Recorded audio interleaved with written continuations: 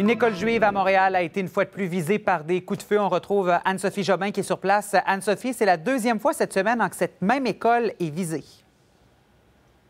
Exactement, un établissement scolaire de l'avenue Deacon dans le quartier euh, Côte-des-Neiges à Montréal. Je vous montre tout de suite la scène derrière moi.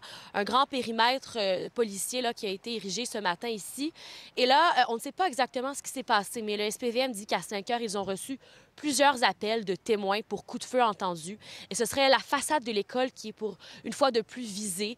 on ne sait pas si c'est plusieurs projectiles, mais plusieurs douilles ont été retrouvées au sol par le SPVM un peu plus tôt ce matin. Et là, la section euh, identification judiciaire vient d'arriver sur les lieux pour un peu mieux comprendre les circonstances. Des témoins ont aussi partagé euh, avec le SPVM qu'un véhicule aurait pris la fuite après que les coups de feu aient été entendus, mais il n'y a aucune arrestation pour le moment. Bonne nouvelle aussi, euh, heureusement, c'est qu'il n'y avait personne à cette heure-là parce qu'il était très tôt ce matin, là, vers 5 heures. Alors, l'établissement scolaire était fermé, donc aucune victime, aucune personne qui était à l'intérieur de l'établissement. Ce que j'ai appris ce matin, c'est que, bon, il y a plusieurs enfants qui se présentaient dans la rue, plusieurs parents même des autobus scolaires.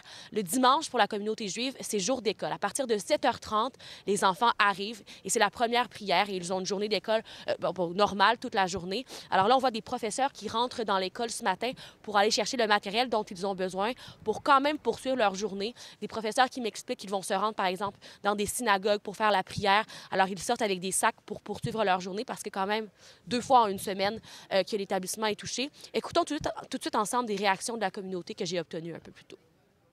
So, and, and you want to tell me these are the people that say they are uh, a peaceful people?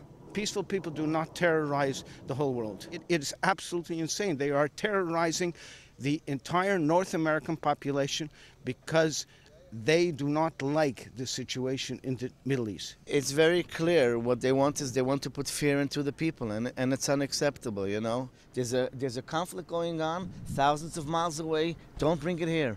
We live in peace here. Let's live together in peace again. I, I don't understand what they want here.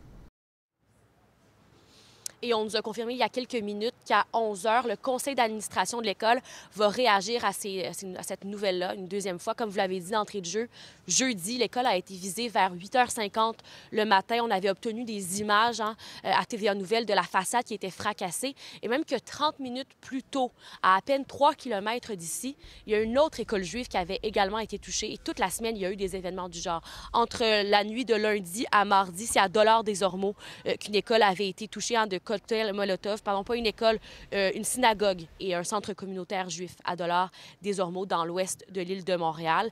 Et euh, au cours de la journée de mercredi, il y a des étudiants juifs qui ont été, euh, qui se sont battus lors d'une échafourée survenue à l'intérieur des murs de l'université Concordia. Il y a quelqu'un qui a été arrêté, une jeune femme. Il y a aussi des propos d'Adèle Charkaoui qui ont fait réagir toute la semaine la classe politique. Et bon, encore cet événement-là ce matin. Comme je vous dis, réaction un peu plus tard et nous, on tente de parler avec la communauté et d'avoir plus d'informations pour vous. Mais là, on nous confirme que les parents ont reçu un courriel et que la journée de classe est, euh, est annulée parce que, comme je vous l'expliquais plus tôt, le dimanche, c'est jour de, jour de cours pour la communauté juive. Là, du dimanche au vendredi, ils ont des classes. Et pour aujourd'hui, ce sera annulé, mais ils tenteront de poursuivre leur activité dans d'autres établissements de la communauté. Merci, Anne-Sophie. À plus tard.